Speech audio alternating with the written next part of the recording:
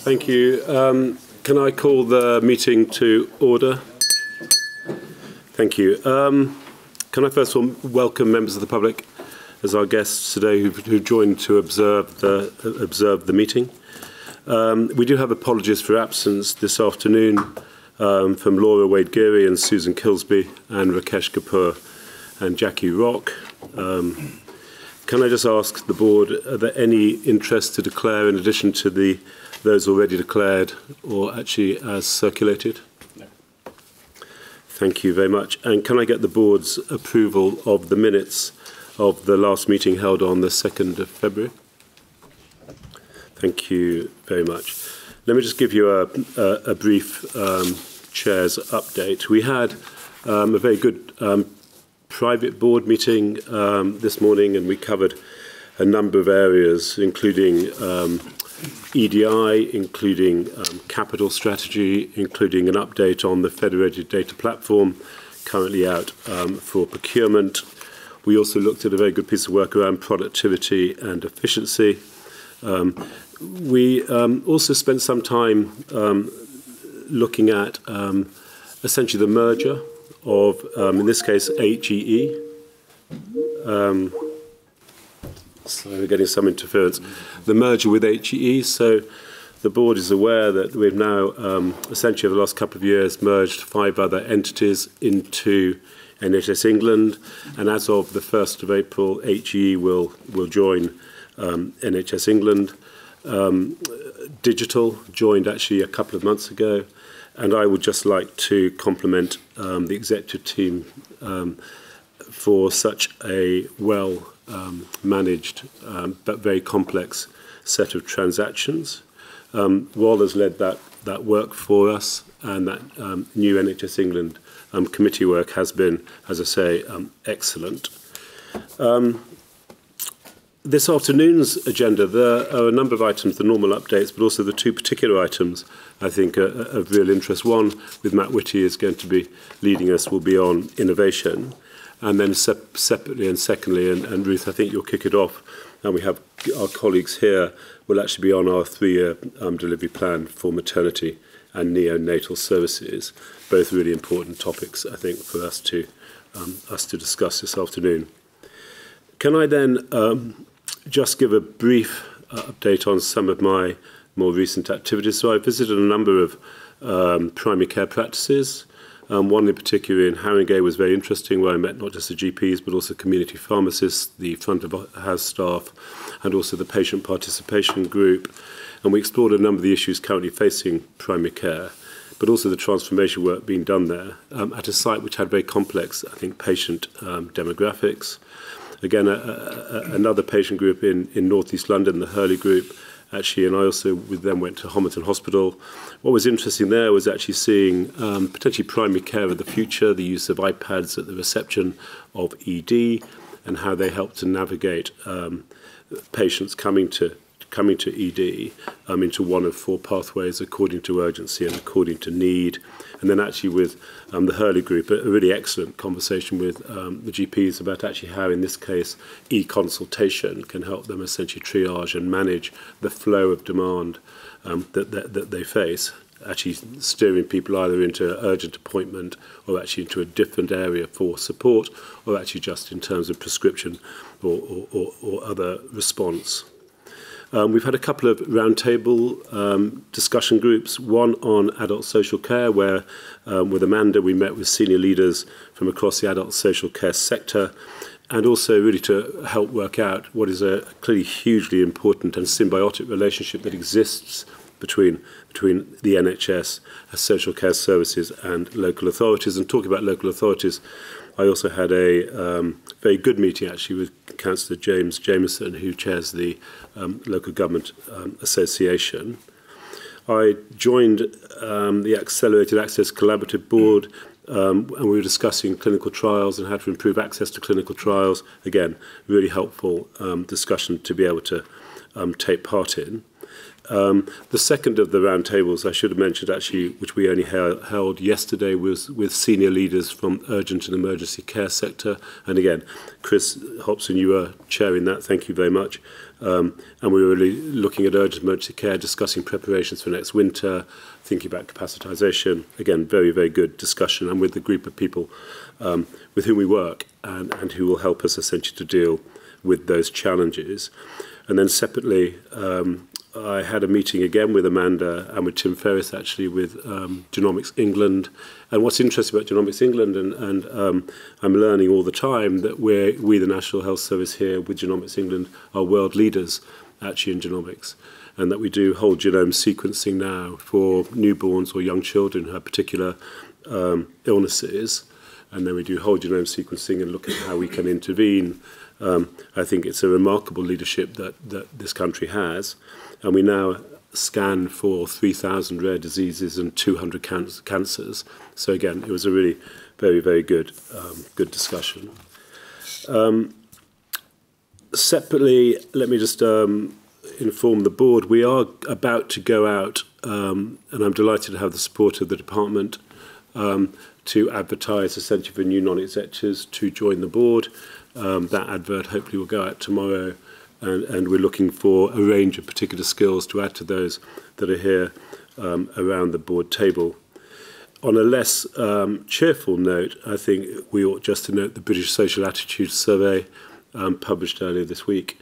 Um, you know, the public satisfaction with the NHS, we have to recognise, has slumped, I think, to its lowest level um, ever recorded, I think, by the, by, by the BSA. And with accident and emergency um, services um, seeing actually the biggest increase in levels of dissatisfaction. Um, and so that's something we really need to focus on. What's really also important, though, is that in these surveys, the public absolutely still, the population still absolutely believes in the fundamental principles that, that, that found are the foundations for the National Health Service, essentially um, free at the point of delivery, accessible to all, and primarily funded um, through taxation. But it's free at the point of delivery and accessible to all, I think, are, um, are the underlying principles that we all actually espouse. That's all I was going to say by way of introduction um, and some brief insight to some of the activities that I've um, been undertaking over the last, last few weeks or so. Can I hand Amanda to you for Chief Exec's update? Great, thank you very much indeed. Um, so, just echoing Richard's words, if I may, we are very much looking forward to formally welcoming our new colleagues from Health Education England from next week. Um, and I would also just like to take this opportunity, if I may, to thank uh, former NHS Digital colleagues uh, for welcoming me to Wellington Place up in Leeds a couple of weeks ago to meet several of the teams up there who are doing you know, actually incredibly impressive but also vital work to support the whole of the NHS, like cybersecurity, maintaining uh, the NHS spine. And I also had the opportunity to meet with some of the staff network leads from what was NHS Digital but is now, uh, of course, course, a completely integral part of the new NHS England. Um, the timing is, I think, really important uh, for us in welcoming HE colleagues, and particularly, of course, thanks to, to um, David and Navina for, for their leadership over the last few years and their leadership of the, of, of the merger with us. Because uh, it's a time, isn't it, where NHS workforce challenges are right at the top of the agenda for us. And HEE has been the expert voice on training and education for a decade now. Um, and over that last year, I think that expertise has been absolutely vital as we've worked together to develop the long term workforce plan. So I'm sure I speak on behalf of all of us when I say thank you to HEE colleagues for that contribution, for the leadership of the work on the plan, as well, of course, courses to that just vital uh, day-to-day uh, -day business of supporting learners into the NHS and developing their careers here. As I said um, at the time, uh, the sheer breadth of organisations uh, represented now around what I said at the time, uh, we were talking about the merger at the beginning, I say it again now, um, you know, the, the sheer range of people that we now have around our table, uh, but also the sheer range of stakeholders that we now work with uh, is, I think, a real testament to the strength of partnership working, which we absolutely hold at the centre of how we work as an NHS. And going to an event which David and Navina held just a couple of weeks ago to mark the 10th anniversary of HEE really brought that home. We just look at the number of, uh, of different voices in the room, all absolutely committed to the same ambitions and to working together to achieve them.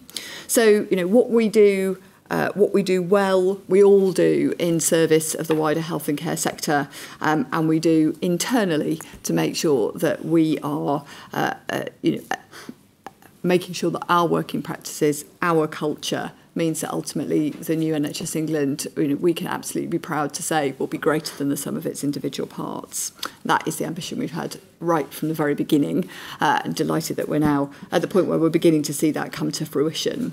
Um, but worth saying, and I do want to just say this, uh, if I may, in the context of what I've just said about culture, is we can only function well as an organisation if all of our staff feel able and supported yeah. to do their best work.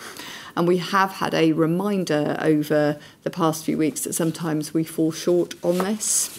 So I know others, uh, David, Ruth, others may want to say more about this, uh, but the outcome of the recent employment tribunal brought by Michelle Cox made for extremely challenging reading for all of us.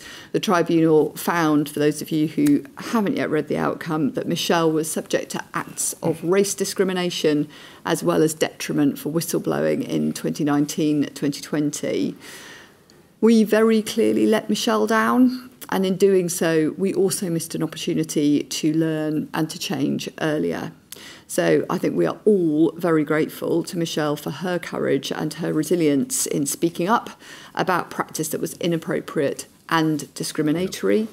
And we are committed to using the outcome of the tribunal to deliver action so that others do not face the same or similar experience. We've already taken action since then, and we have set that out to all of our colleagues, along with the further actions that we will be taking to try and ensure no other colleagues go through what she did. Moving on, uh, and I'm sure, again, this is something, by the way, we will come back to in future board meetings and we will keep talking about a lot. Uh, but moving on, because I'm conscious that we have other things we need to talk about on the agenda, um, and again, others will talk about this, David, in a moment. Um, but in relation to pressures in the wider NHS system, we can see in the in the performance report um, that the most pressing challenge for the whole system has continued to be around the urgent emergency care pathway. Um, on the specifics, uh, you will all know uh, that when we met as a whole group in February, we talked about the fact that we'd had just the most challenging winter, I think, that any of us uh, had experienced. And it has been really welcome to see that progress is, that has been made through those additional actions we set out to boost capacity has endured over the course of the last couple of months. So we have seen sustained improvement in ambulance response times, in access through uh, accident emergency in particular. Um, so I think um, to your point earlier, Richard, about the British Social Attitude Survey, yeah. against that backdrop of extraordinary pressure mm. in urgent emergency care, I think we can, um, uh, you know, we can point to now the publication of the Urgent Emergency Care Recovery Plan and the evidence of the actions that we've taken over winter as evidence that you know, even now we can see that we are making progress in dealing with the things that really matter most to patients. Yeah. Uh, equally true, of course, and David will say more about this, about recovering elective care, where we published a plan a year ago, recognising that things were going to get more challenging before they got better, but better they have got, particularly in relation to patients who've waited the longest. And we are hopeful that we're going to be able to publish something shortly, uh, setting out a similar sort of recovery plan around access to primary care, which again is something we know patients really care about, and the pressure on our primary care colleagues colleagues is something I think, again, we'd all share an ambition to make sure that we're doing everything we can to try and support colleagues to take, uh, to, to make it easier for them to do the incredibly important work that they do every single day.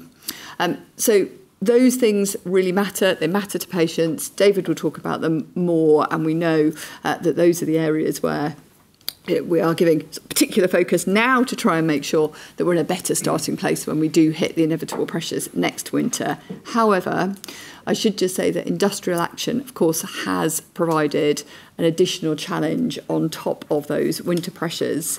Um, local teams have coped admirably. Um, and my thanks to all of them, as well as to national colleagues and regional colleagues for everything that they have done uh, over the course of industrial action. Um, but it has taken a huge amount of work, and it is clearly not sustainable. Um, so I think we all really welcomed the announcement from the government and most of the unions representing staff on Agenda for Change uh, that has meant a suspension of action from those staff groups. We are all conscious, I think, that it is not a done deal yet, pending ballots of union members on whether to accept the offer on the table, but we are all hopeful of a resolution. And of course, we dealt with our first period of action from junior doctors earlier this month, with further action, talk about that uh, more in a moment, scheduled for after the Easter weekend. Uh, David will share uh, some insights into the impact of that first period, but also preparations for the second in a moment. Um, suffice to say, though, I think that none of us wants to see further action take place. So we do hope for similar progress with junior doctors that we have seen with the Agenda for Change staff, but ultimately it is our job to support the NHS to plan and to manage services to minimise disruption and risk for patients. Um, if I may, uh, the next thing I just wanted to mention, uh, sticking uh, a bit with the theme of pressure um, and what we're doing about it, is the staff survey. Uh, so you will have noticed, colleagues, that the NHS staff survey was published a couple of weeks ago and that that did show a decrease in satisfaction and ongoing challenges in a number of areas. Now, some of that will be down to pay, and some of it will be certainly a reflection of the operational pressures that colleagues are under, but you know, by no means is that all of the story. Uh, and we should note, in offsetting that though, that there were some encouraging findings from the survey about how people feel supported, particularly by their line managers, um, and that they have, feel they have more opportunities to develop their careers than when the survey was done last year. And you know, those things do really matter.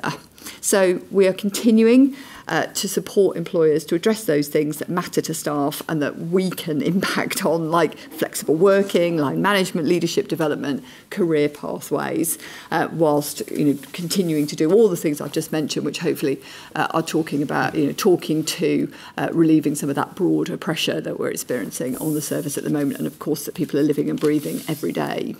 Um, so that leads us on. I've just got a few more things, if I may, Richard, just to the long-term workforce plan. I've mentioned it already in terms of the joint work we've been doing with HE on it. Um, we know that having a uh, focus on workforce is you know, absolutely central to everything else we do. Having a long-term workforce plan uh, will be you know, a really important moment for us to be able to plan ahead, uh, both in terms of um, some of the uh, routes into training and training numbers, but also skill mix, new career paths, and um, crucially, of course, reflecting at the very heart of it that focus on looking after our own staff and retaining those colleagues that we do have. So we're just in the final, uh, uh, final um, part of the process of negotiating with government um, around just how we land the plan and timing and choreography, uh, but delighted to have the welcome confirmation from the Chancellor in the budget The publication uh, will be expected shortly. So just as important as the plan, of course, will then be how we deliver it. And I know that Navina and the team in particular are using this time to think about how we get ready to make sure that as soon as the plan is published, we are hitting the ground running on delivery. I've mentioned that we're hoping that the primary care plan will be similarly uh, published shortly, primary care access plan, I should say, just to be clear. It's about access recovery. Um, and that, again, we're hoping will set out just some very practical actions to support um, colleagues uh, who are delivering such essential services in primary care, but also support patients to be able to access those services more easily. Two final things to mention. We are um, today publishing the delivery plan for maternity and neonatal services. That is a hugely important moment for us. And I know we're going to have a detailed conversation about it shortly. Uh, but I just know personally from attending the NHS Maternity and Neonatal Services Summit with Ruth and with uh, Jackie, when was it, last week, week before? Uh, very very recently, I can probably say uh, that this is a this is document is really important to the people who are working in maternity and neonatal services and to those who have uh, worked with us and with them to ensure the voices of families are heard and to people like uh, Bill Kirkup and Donna Ockenden, who again have been so instrumental in shining a light on what we need to do to improve maternity and neonatal services, and again have been kind of critical colleagues in the development of the plan today. Um, and can I also just take the liberty of being the first person who, probably a number of people will all repeat this through today's board meeting, but just in congratulating Jackie, uh, who was the first uh, chief midwifery, first national chief midwifery officer, uh, extraordinarily um, big boots to fill, Jackie, when you do leave us. But she, Jackie will be leaving us shortly to join the International Confederation of Midwives. So, as we said before, England's loss is the world's gain on this one. Um, and then the very final thing to mention is just uh, we've talked about it before, but we have been working uh, closely as as as many many stakeholders have uh, with Patricia Hewitt on her review of how ICSs can grow and develop with the right governance and oversight to succeed. We're expecting, uh, I think that she is uh, going to be publishing that final report potentially even as early as next week. Um, and again, this is one we know that is highly anticipated by local teams who really want to just kind of get on with setting themselves up in the right way to deliver all the things they need to and to plan for the future. Thank you, Amanda. Um, I'm, I'm going to ask um, David Sloman in a moment just to give us an operational um, performance update. But before I do that, I should have, and um, Laura, as I said, um, can't be here um, this afternoon, but she's chaired NHS Digital superbly well, and that's now part of NHS England. I just want to thank David Behan for uh, chairing HE um, so ably, as now HE is uh, joins with um, NHS England. And in doing that, just to reflect that um, as we talked this morning, David, the baton comes back because to ensure good oversight by this board, actually, we have, as you know, set up a, a subcommittee, which actually WTE, um, so Workforce Training and Education, going forward, and that just will make sure that we do not lose sight of um, the very broad and, and busy agenda that HE has historically been overseeing. And we've done the same, obviously, with digital in, in terms of a data and technology subgroup because both of those entities carry, carry currently or did carry huge burdens and huge responsibilities. And as we merge these entities together, it's really important that we don't lose sight and focus on, on that range of issues. And the other thing, David, just before I bring you in, um, we've had a discussion as a board, and I think it's really important that we reflect on what the purpose of the board is. Um, we're going to have a, a strategy review, strategy day in May, early May. And, and what should a board do? Well, the board obviously working with the execs, providing challenge to the execs as we deal with the immediate issues. And you can tell from Amanda's report actually just how substantial and wide-ranging the immediate pressures on the service are. So we engage on that. And then actually we need to lift up and we need to keep our eyes very much on relatively fewer key priorities, like the long-term workforce plan that Amanda's referenced, and which will then make sure we can implement and capacitize once it's published, like in technology, whether it's a federated, federated data platform or increasing functionality in the NHS app, whether it's engaging behind life sciences, um, behind genomics, behind medtech, staying focused on cancer.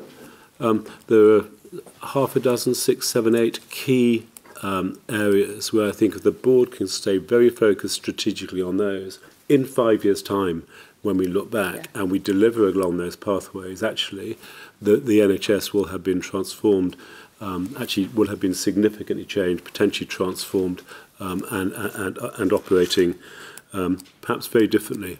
I mean, Chris Hopson uses a phrase which I have copied from him and I keep using. Um, which is that actually we are potentially on the cusp of a data and technology revolution that can utterly change the way we offer um, we offer health services and how we engage with our with our population.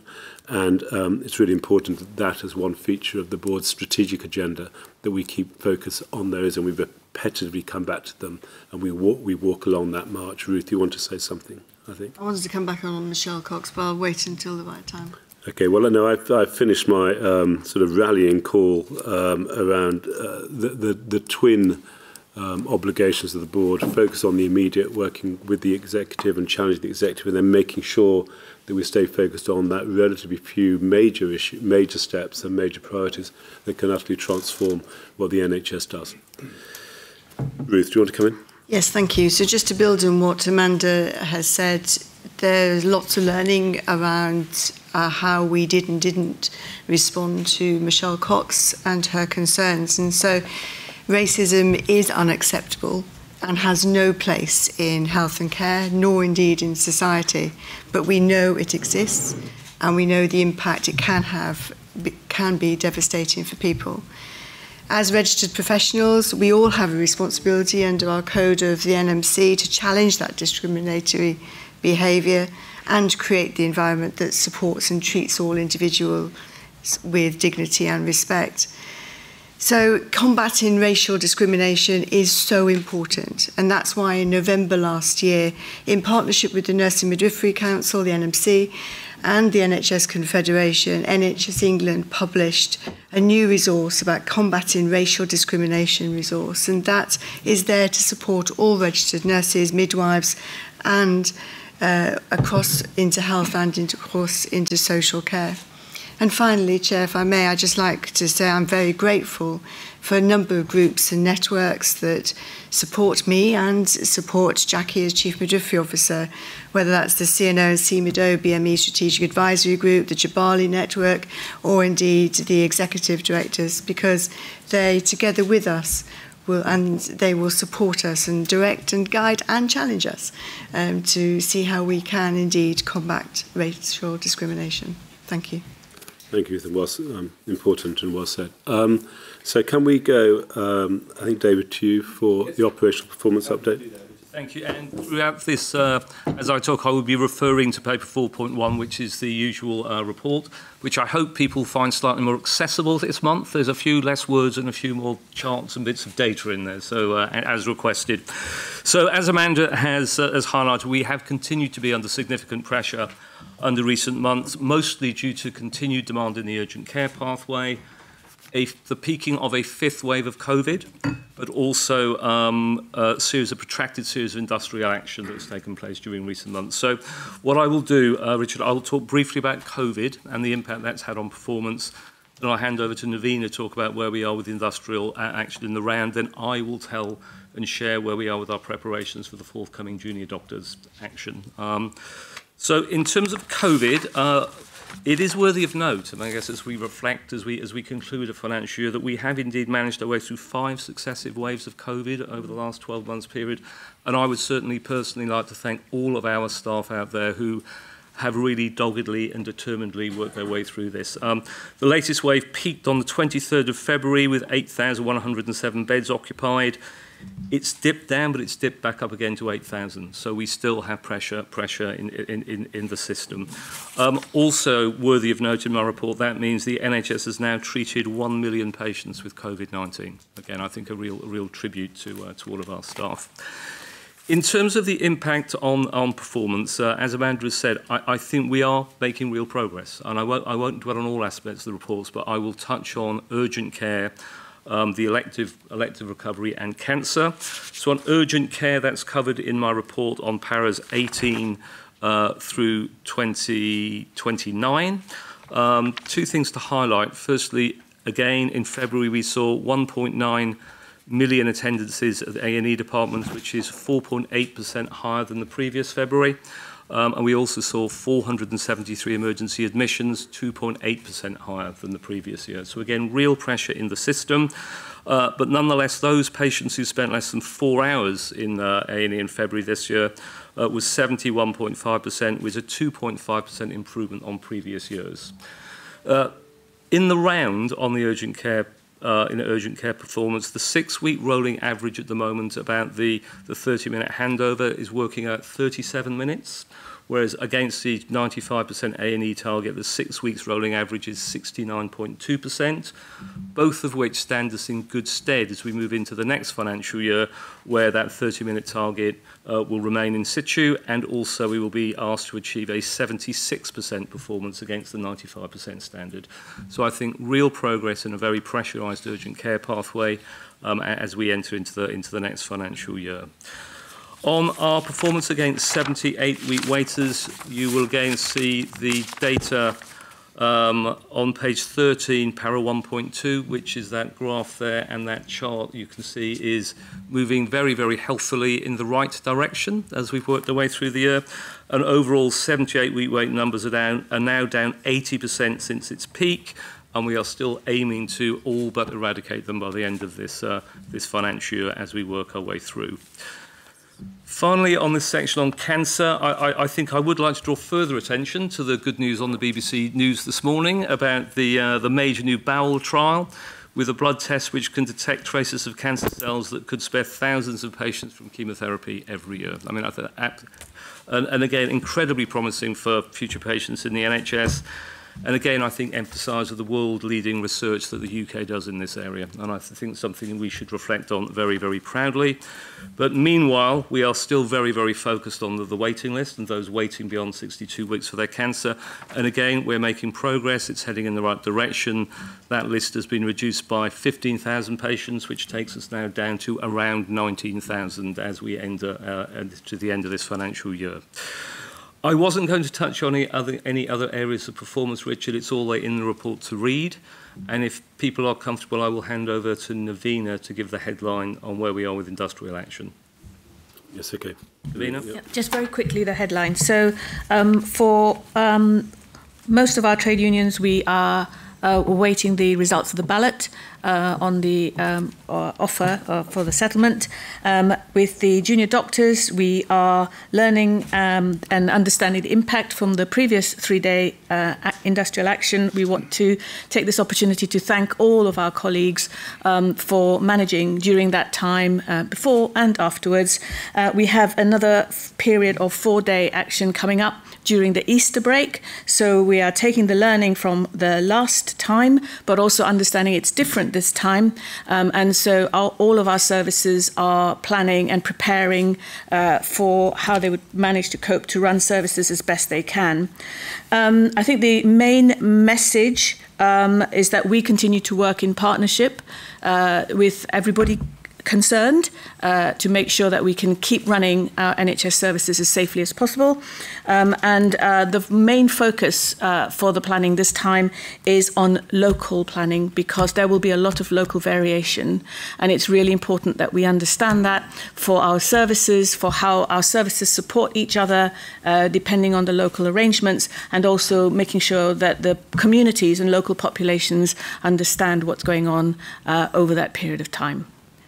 David. Thank you. So, so just again to sum up where we are here. So progress has been made with an offer to the event Agenda for Change staff, uh, and that's been endorsed by the NHS Staff Council, meaning that industrial action has been paused. Yeah. That is not, however, the case with the junior doctors. And I think it's really important that we understand what junior doctors do and what junior doctors are. So junior doctors make up about half of all doctors in the NHS. They are qualified doctors who have anywhere up to eight years experience working as a hospital doctor, depending on their specialty, or up to three years in general practice. So these people who make a material contribution to patient safety on a day-to-day -day basis. Uh, the BN, BMA and government did meet last week, as has been well publicised, but this did not progress to intensive talks to resolve the dispute. So as such, and you will be aware, that on the 24th of March, the BMA announced a 96-hour strike from the 11th to the 15th of April, which is the days immediately following the Easter bank holiday weekend. Um, this industrial action is set to be the biggest and most disruptive strike in NHS history. So during the strike, we will prioritise resources to protect emergency treatment, critical care, maternity, neonatal care and trauma, and that will be our absolute priority. But the scale and length of this industrial action means that we cannot fully mitigate the risk of patient harm. So I would not want colleagues to underestimate the impact that this, that this uh, industrial action will potentially have on our patients. So We have set up the usual uh, machine to ensure that we oversee the preparations for the industrial action. Uh, it will mean some probably changes to whether organising services to ensure patient safety, but I don't think we should underestimate the potential impact of, uh, of, of the action that week. Thank you. Um, are there any um, comments or questions? sorry, forgive me. Comments or questions for David on Uh, on the report, the broader report. Any comments or questions? Well, Yeah. Um, Andrew, sorry. I just wanted to make a point around uh, performance for um, the ele elective recovery work. I mean, if you go back to uh, April of last year, we had 1.2 million people waiting 78 weeks or more on our waiting list. We now will have, at the end of this month, about 11,000 people. Mm. And I think we should pay tribute, Richard, to the immense effort that our NHS staff have put into reducing waiting times and trust boards in focusing on this, given that this is probably, this financial year has probably been the worst in terms of disruption. So we've had COVID, we've had the worst winter on record, we've had staffing challenges, we've now got industrial action. So to see this level of progress, I mean, it takes me back to the Tony Blair days, the early reforms in, in you know the turn of the century where we made these kind of changes um, they're, they're pretty seismic um, so I think we should pay tribute and thank our staff um, on, on, on, the, on the, the front line here um, And we've also got the challenge going forward around delivering 65 weeks. Yeah. And we've got some good funding from government to do this and I'm sure we can make some real progress because waiting times, along with cancer waits, are probably the, the two significant things that most people um, have in terms of you know concerns around NHS performance. So I think I think the NHS has done really really well on this, given all the other issues that it's had to face. So I'll, be, I'll bring Wall in in a moment, but I I, I would just endorse that. I mean, um, thanks and appreciation to the huge hard work of all the NHS staff actually who've, deli who, who've delivered that. Um, clearly, we, we don't stop now. We don't stop here. We've got good support from government and we've got funding and we're going to keep on going and we're going to keep on driving these um, driving this elective backlog down. But actually, you're quite right I think to highlight from that 1.2 million, uh, you know, a few months ago down to 11,000 at the end of this month. Um, that's a remarkable shortening, I think, of the list at the longer end. But there's more to do. Actually, in general, on the on the stats you were giving us, David, I think um, actually what we do see as we see sit here today is we see encouraging progress, really encouraging progress, actually. Um, but clearly, there's there's further to go. Yep. Yeah. Well, so, um, David, if I might return you to the strikes, and you talked very well about the focus and you're going to have on on the upcoming strike, and I was just wondering about the impact on other initiatives because we're pressing very hard in terms of primary care access. I think Amanda mentioned pressing very hard on urgent emergency care. The whole range of things we're doing. I mean, there's only so much bandwidth you have, uh, and the system has. Do you want to just say a little bit more about that? Sure. Just just to reflect a few things. First of all, I would say um, our absolute priority always is patient safety. You know, that's what we will be for, put before anything else. Um, in terms of the trade-offs you make, clearly nobody wants to cancel the patient. Nobody wants to cancel an outpatient appointment or an inpatient appointment or an elective procedure. When I used to run a hospital back in the day, the thing I used to hate most was cancelling a patient, and particularly those very rare times when you used to have to cancel a patient on the day of surgery. It, it, it, used to be, make me physically ache, you know, the, all the stuff they'd organised for themselves or their families or their children's, let alone the trauma that people would be going through and the anxiety. But nonetheless, it may be that we may have to stand down some elective activity, particularly, I think, during this week of the junior doctor strike. That is inevitable. Uh, and so, so these are difficult trade-offs which we will need to continue to make, and they will have an impact on one set of targets or another. Uh, we will determinedly try to catch up, and I think we've done really well so far, actually. But I also wouldn't underestimate the the emotional fatigue actually out there with the frontline staff and those managers who are running around organising this stuff. It's really hard yards and it is not sustainable over time. Okay. Um, Steve? Yes, so, so I'd endorse everything that uh, Amanda, David, and Navina have said uh, concerning industrial action. Uh, but our message to the public uh, in terms of use of services will be very similar to the message that we have given uh, during all the days of industrial action that we've seen since December, which is uh, to do what uh, we've asked, which is to use services wisely and appropriately. Uh, so do for um, emergencies, for life-threatening emergencies, do still use those emergency services. We are prioritising them, as David has said. But for other non-life-threatening uh, emergent uh, um, conditions, then 111, 111 online should be the first uh, port of call. Uh, other services, although there will be widespread impact because, of course, junior doctors do work at other parts of the system other than hospitals.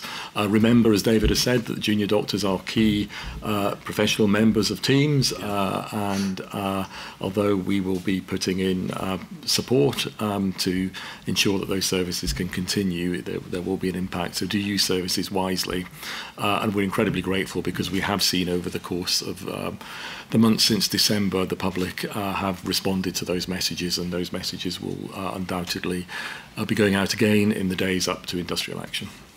Thank you. Any other comments or questions? And if not, okay, thank, thank you very much. Thanks, Steve. Um, Julian, finance update? Uh, so again, I, as normal, I assume people have read the paper. I mean, in one sense, on 22, 23, there's not a huge amount to add from the last board meeting. We are basically, as I said at the time, uh, bringing the budget in, I mean, pretty much on the nail. Uh, the board paper currently has an underspend forecast for the end of the year of 125 million, of which around 100 million of that is uh, ring-fenced vaccine uh, spending, which actually is testament to the great job that Steve and his team have done in terms of the booster campaigns with the money that's been given. Uh, so it is tight, uh, but we are on track to bring the budget in on revenue and capital. Um, right now, the focus is on 23-24 and planning. We are getting, you know, the kind of next draft of plans back uh, over the course of today and tomorrow. Uh, good, steady progress being made, but a lot of work still to, to be done with systems, with providers, to make sure we've got plans that properly balance performance, money, and, and quality. Uh, so that's really the focus of the next kind of four weeks. Clearly, an issue is pay. Uh, the government and unions have reached an agreement. Staff are balloting. We will see where uh, you know how that uh, turns out. Uh, just though to reflect for the purposes of the money, the government and the Treasury have been clear that they are committed to providing new funding uh, and that there will be no uh, sort of impact on frontline services and quality of care. Therefore, whilst we will no doubt in the next few weeks be in discussion with the Department and the Treasury as to precisely uh, how that is going to work. We are asking systems clearly to plan on the basis that the pay award will be fully funded on top of the allocations that we have given them, given, given the stretching efficiency and performance targets we are asking them to plan for this year, and the government's commitment that you know uh, funding the new pay deal will not impact on frontline services and quality of care. And you know we recognise actually the way the government has responded to the sort of changing circumstances as, as they've evolved over the last over the last couple of years. Um, so you know, we're just asking people focus on the job, sort the plans. The pay will be um, appropriately funded, and uh, that's where we are. Okay, thank you. Um, comments, questions for Julian? Do you have a perspective on? Um, I mean, it's the first year of the ICBs, and so actually they're a sort of a new dynamic in the in, in the piece, although they come from you know, they come from history, but there's a new dynamic in the piece. How, how do you see that? Um, so, look, uh, I think as I said in the private board, the context is clearly both the first full year of ICB operation. Um, I think Steve has previously described one sort of a five-year journey through COVID, and this is almost like I don't know if it's year two and a half or three. Uh, so just recognizing that we are still trying to take a lot of cost out uh, as we come out of COVID, as we drive uh, performance improvements actually in just about every care setting and the first year of ICB. So there is a lot um, for uh, both ICBs and providers to sort of get their heads round yeah. and to plan for. Um, look, you can see that some of the ICBs with providers are actually doing a really good job Yeah. on on this, and I think we're pretty close with a whole number of them to having plans which are sorted and settled, and we can just uh, get on. There are clearly some who, you know, there are genuine sort of underlying issues as we, you know, sort of look at the position in 1920, how it's evolved through the last three years. That, you know, as we come through uh, last year into this, we're going to have some issues to to resolve, and in some places you know the relationships are working re- really well in some people are still learning you know how they operate Yeah. so i suppose it's a slightly long-winded way of me saying it's a really challenging context and um, some are you know stronger set of re- relationships working really well uh, you can see everyone making the effort and in some uh, both nhse providers systems i just think we're going to have more work to do over the next four to six weeks uh, to make sure everyone is in the in the right place. But I have to say, you see the importance of having really good integrated care boards Yeah. Because where they're operating really well, the ability to actually see across all the providers, actually work out where the right trade-offs are, where the right capacity is, where they do the investment, uh, where it's working well, you can see why we need them. Very good. Thank you, Julian.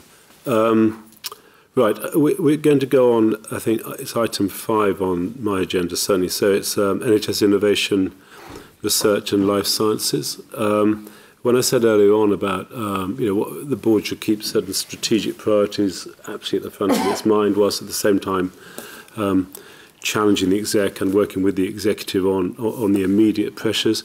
This um, focal focal point is a really important, I think, strategic mindset to have.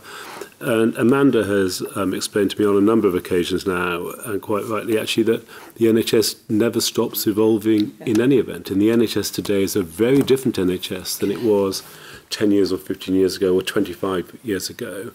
And you think about the scale of provision and the range of different um, conditions actually that the NHS now can treat and does treat, and the way actually we interact using technology. Um, the NHS continues to evolve, and that is because of um, innovation and bringing those innovations, I think, into play. So this is a really important discussion I think we're going to have. And um, Tim, I think you're going to lead off, and I think Matt's here, Matt Whitty is here as well, which is great. Thank you. Um, thank you very much, Chair, and it's a real pleasure to have the opportunity to um, present the paper and, and have uh, Matt um, here for this discussion. Um, so as you said, innovation, research, life sciences, I want to just um, pause on those words for a second because they are really, really important words for the future of the NHS. Um, and as, um, as Amanda Pritchard frequently points out in both her external um, addresses and her internal addresses, um, we need to be really good at the innovation, research, and life sciences ecosystem for the patients that we serve and for the staff to deliver Yeah. the very best of care.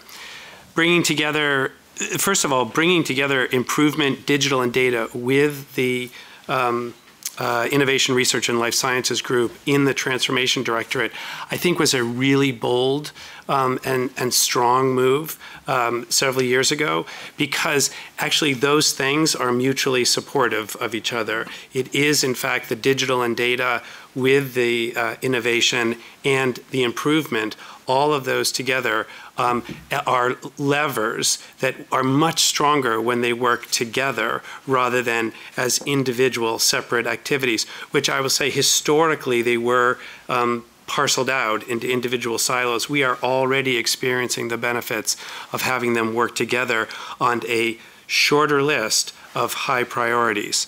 Um, so I also want to point out that bringing us all together has enabled closer collaboration with key partners. And, and the partnership opportunities here are really important. The Department of Health, um, um, uh, uh, OLS, NICE, MHRA, uh, NIHR, these are really critical that we have, the, the NHS is able to work in partnership with the entire ecosystem here because we are not actually we- we are the we're the big we're the gorilla in this um, uh, organization, but but actually we depend entirely on close collaboration with all those organizations and more. And can I just say that our organizational partnerships are functioning really, really well. Um, always room for improvement, but we've seen uh, quite a bit of um, improvement under uh, actually Matt's leadership with the um, Accelerated Access Collaborative. Um, I would also say that um, our commitment to supporting the testing, adoption, and spread of innovation innovation comes from both the inside of the NHS and my uh, Fridays, which I, I cherish, where, where I go um, to various places in the NHS and see the innovation that is occurring. It is astounding. We, it, it's, I don't think it's too much of an exaggeration to say that the NHS has actually solved most of its major problems in one place or another. Our key challenge is spreading those uh, innovations and, and, and having the ecosystem that's required to spread that. But I also don't want to de emphasize the importance of external partnerships. So it is actually our commercial partnerships in um, the med tech areas, the data tech areas, biotech areas. We get so much better when we are able to rapidly bring those commercial, honestly, those commercial um, companies into partnership where we can spread the innovations and benefits that they are providing to, um, to our patients and citizens. Our commitment to being full partners with the academic and life sciences is really, really important. Um, and the paper um, uh, describes this, and Matt will go into a little more detail.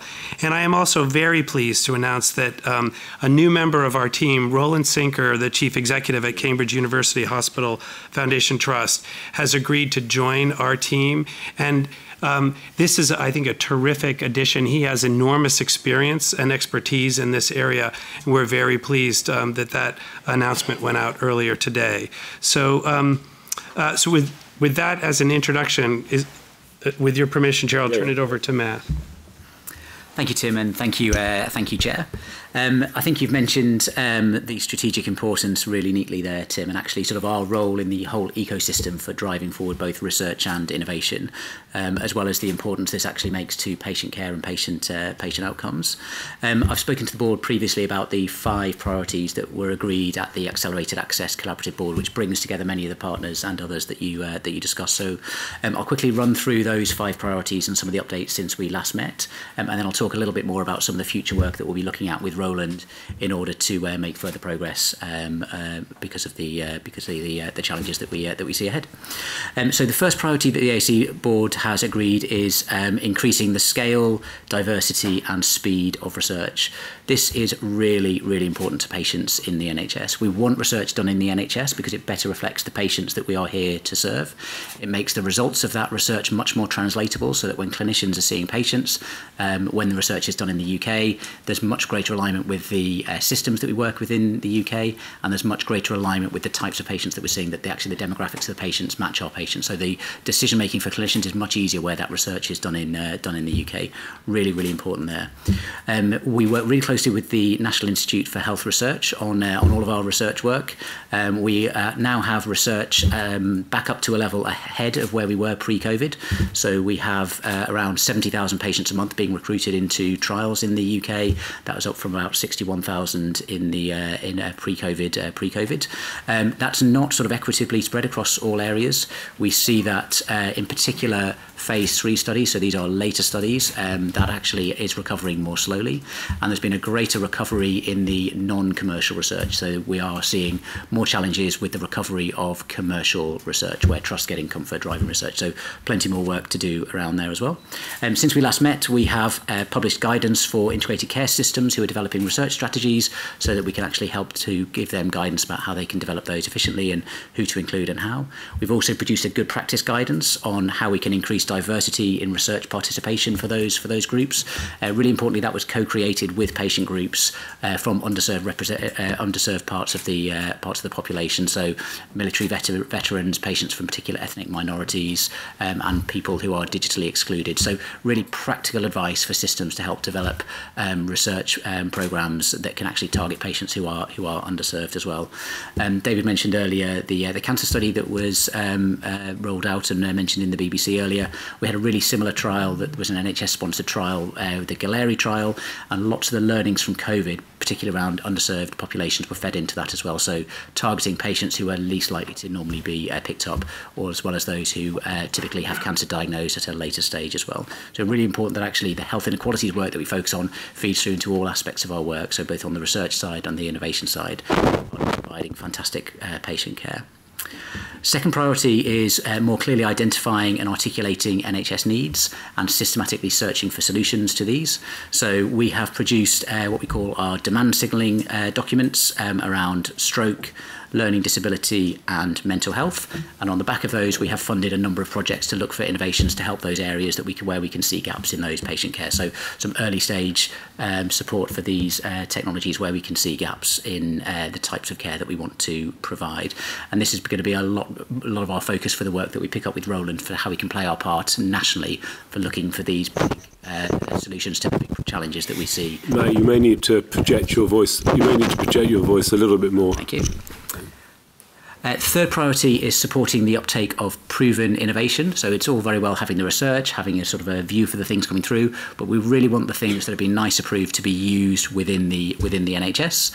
Um, in the long-term plan, we had a commitment to launch something called the MedTech funding mandate. So for particular types of medical technologies, so these are medical devices, diagnostics, and digital products, we um, introduced a contractual requirement for providers to make funding available for technologies that met the criteria that we defined. Um, one of those was a technology called Spectra um, Optia. So this is a treatment for sickle cell disease, which particularly affects people from um, various uh, ethnic minority backgrounds. We have almost tripled the number of sites that have the facilities to offer this treatment, which is much better tolerated for patients. It's faster and it's more cost effective. So, a really, really important treatment for patients.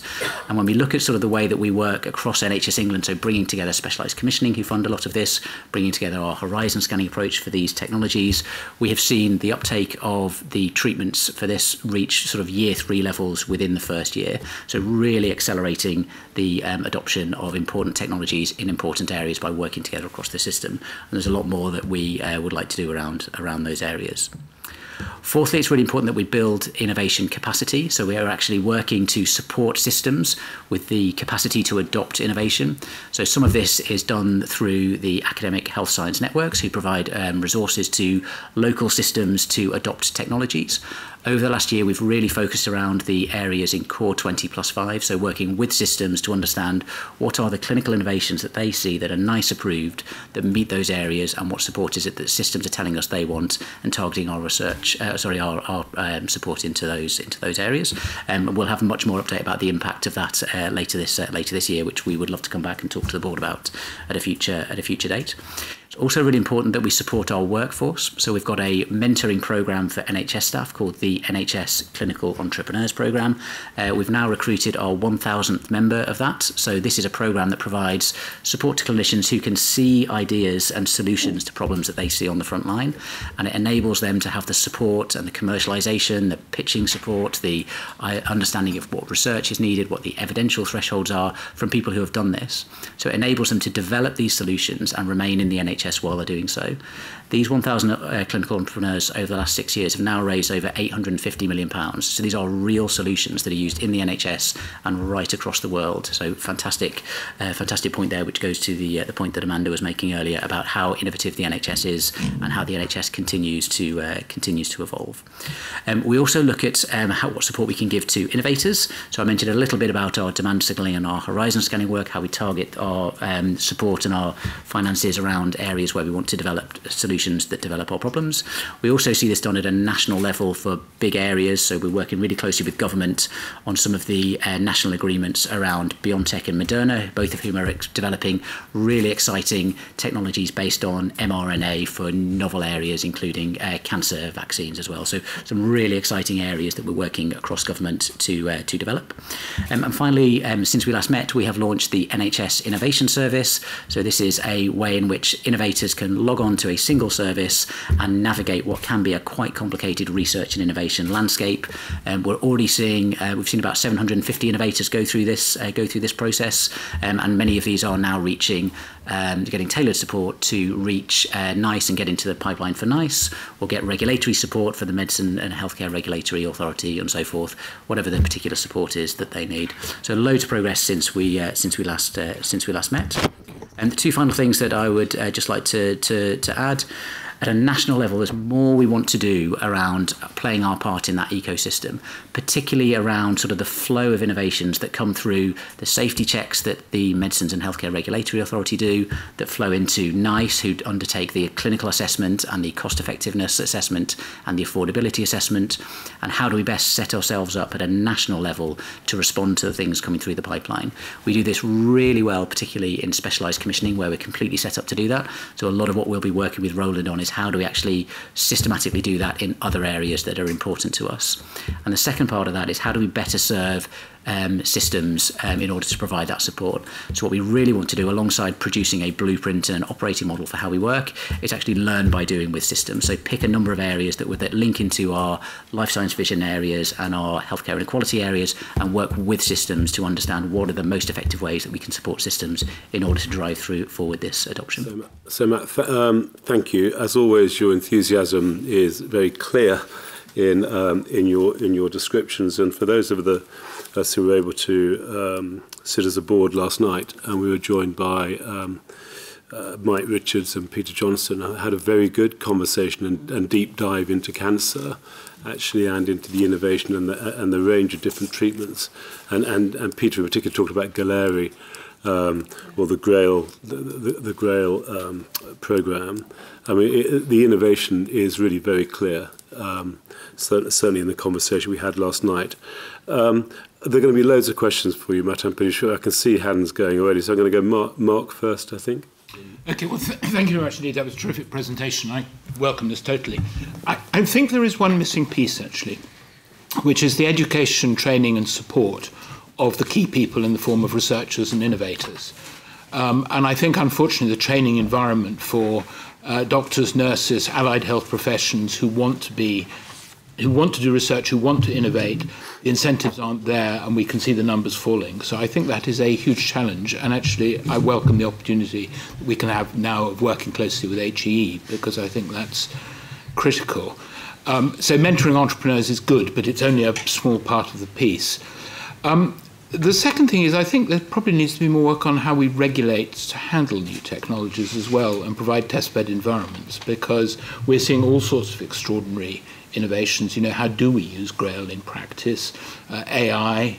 Um, uh, we were talking earlier about biosimilars. So I think there's big opportunities there. Um, but I really endorse the point that we need to move from a sort of push model of innovation, where innovation is pushed at the NHS, to one where there's pull. And I think that that's really critical. And I, I just think there's one lot of partners that were missed in the discussion as well, which is I think the other public funders of research, such as UK Research and Innovation, also our extraordinary charity sector. And, and there's no question that we have to work closely with business because there's an enormous amount of innovation there. Thank you. Um, Matt, I won't get you to comment or respond to those points as yet, or Tim. Um, but let's see who else. I mean, I saw Munir, you want to do it, raise a point, and then David, and then we'll batch those up, Matt, and between you and Tim, we'll answer those, and then we'll go out for further um, questions. Thank you. Uh, really good, great paper, uh, really important area. So the first thing I want to say was, again, uh, echo what Mark just said about the fact that it's great that you are uh, liaising with all these organizations, MHRA, NIHR, etc. But don't forget the MRC and UKRI. Um, and don't forget the uh, charity sector, which funds a lot of research in this country, and engagement with that sector is really important. Also, um, there are many doctors and nurses and pharmacists that work between the university sector and the NHS and produce a lot of research within so it is important to be able to link up with them as well. I know eh, entrepreneurs are really important, but the wider uh, workforce that actually does some of this research and innovation is really important to interact with. The question I had was really about roadblocks, with, and, and I'll focus on priority one and priority three. Um, if you talk to researchers at the moment, one of the major issues they have is that it takes too long to start research in the NHS Um, and then if you talk to innovators, they say it takes too long to get the innovation introduced into the NHS. So can you so identify what you feel are the main roadblocks in priority one, priority three, and how you're going to tackle them? See if you can hold that as another um, question, um, and that how you get them introduced or scaled, I think, is the thing I often hear. Actually, so something can work quite well in in one, say, one acute hospital or one, in one location, but how do how do we get it to scale? David, do you want to come in and then I'll ask Matt? Uh, uh, again, thanks, Matt. Um, uh, very good paper and presentation. Um, I wonder whether you could say more about the Academic Health Science Network review, because if I've understood their role on the push and pull and how things are taken to scale, that's a key part of the capacity I think we've got across the system.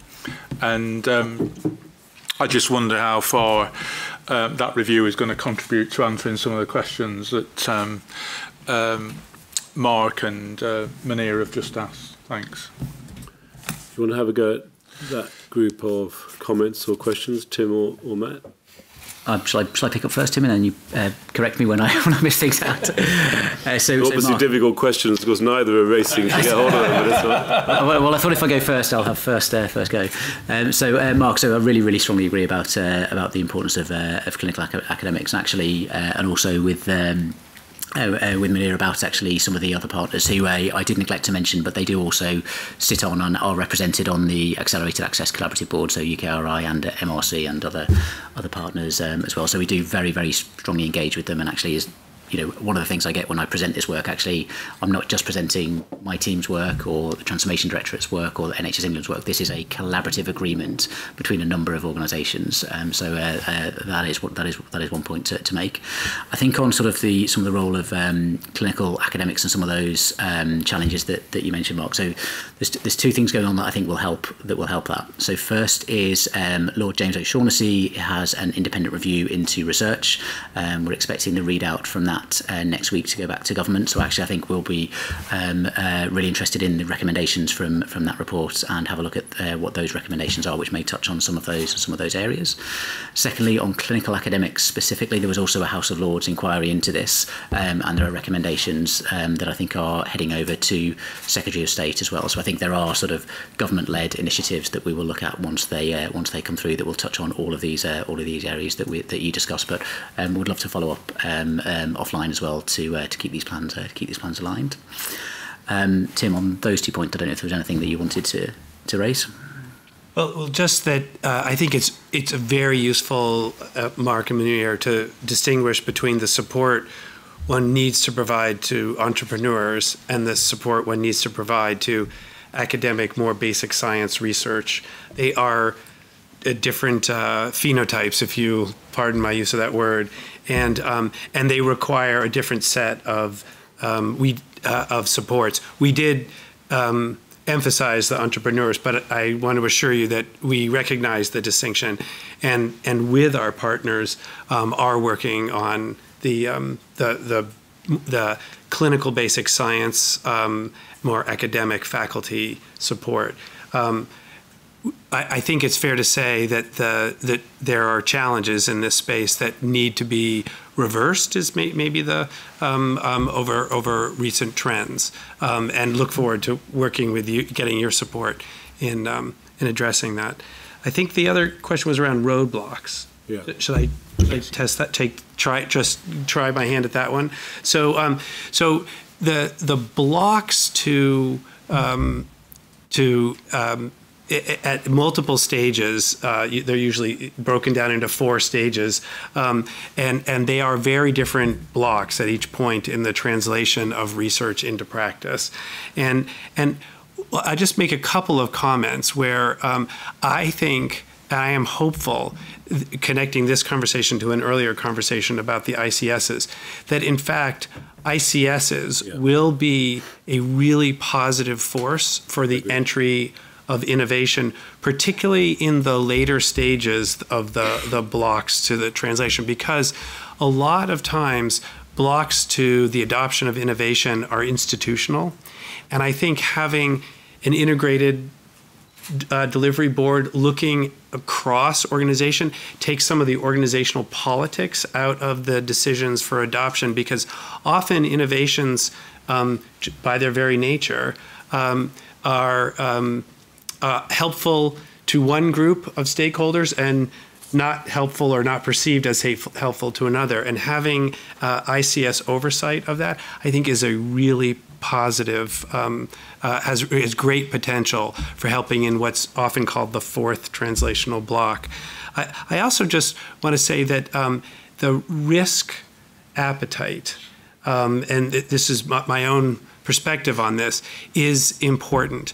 And it's important in hearing about the status quo, like the situation we currently face, and I'm going to re refer back to what you just heard from David Sloman about um, performance. Actually, the um, the demographic trend for the the and the the scaling of the requirements on the NHS of increased services puts us in a position where we really need to consider the counterfactual risk of not changing. And and I think we are, I, see increasing acceptance um, and enthusiasm about the changes that will be required for us to actually be able to provide the future needs of the, the NHS's um, to, to, the to our patients and citizens in, in, the future. So I think I think both of those things are um, are important in thinking about the, this fourth translational block. I mean, I think that last point, and I'll then bring some other, um, I can see people waving at me. Um, that last point, I think, is really important. We've talked before, and I may misdescribe it, but actually what we see is uh, an exponential growth in demand, partly from population growth and from an aging population, and then actually just our just our very real scientific skills, etc. We find more conditions that we're able to treat. And so actually the demand on, uh, for, for the health service goes up all the time. Unless we continue to innovate and adapt, in, whether it's pharma or life sciences or medtech or technology, actually our ability to travel with that, that growth in demand is going to be very difficult. So I think the NHS will continue to innovate. Um, my questions are all about um, can we make access to clinical trials sort of, I'll say it's not a technical term, but less clunky. Um, and then it is a question of how do we scale the number of um, innovating innovators who've talked to me at, at various events and they've got something that's working, but actually can they can they get that spread throughout the NHS, even though it's clearly working in one particular location? Um, th that seems to be one of the, the practical challenges we have. But don't go anywhere near those. Ma Mary waved her hand. You, you put your hand up first. Yeah, oh, Odessa. I, I didn't hear anything on HSNs, and I think they're the capacity to do exactly some of that. The 15 HSNs which are under review, yeah. Can, sorry, can I come, sorry. because actually my question is almost a reflection of yours, David, if not the same, except particularly the applied research collaboratives within that yeah. who yeah. aid people yeah. in adopting new innovation. And I'd really like to hear how we're yeah. going to make sure they're not lost. So hold AHSNs and the, uh, uh, and, the, and the collaboratives in mind. And I'm going to go Steve and then Navina. So, so I wanted Steve, to, to, I wanted, uh, I wanted to build on the workforce point that both Mark and Minia made. Uh, because obviously none of this would happen without the appropriately trained, supported staff who then have the opportunity to deliver this agenda. Um, and, and so the first uh, point is, is I tend to think of this in a, in a group, certainly with the medical profession, a, a group of people who, like myself, Mark and Medea, were, were career academics employed by universities working in NHS hospitals. So I think there's a there's a lot of work to be done with the university sector, but also those other third party funders, including charities, as how we we support those uh, clinicians both in training, as Marcus said, but also in their work. But there's a second group, which is the group within the NHS, NHS employed, who are also interested in delivering research and innovation. So I think yeah. of district general hospitals, which don't often don't have the same strong academic links, uh, they delivered uh, magnificently, for instance, in the recovery trial during uh, the, the first phases of the pandemic. And I think there's a real opportunity within that workforce, appropriately supported and appropriately trained, uh, to drive uh, yeah. much more activity in clinical trials.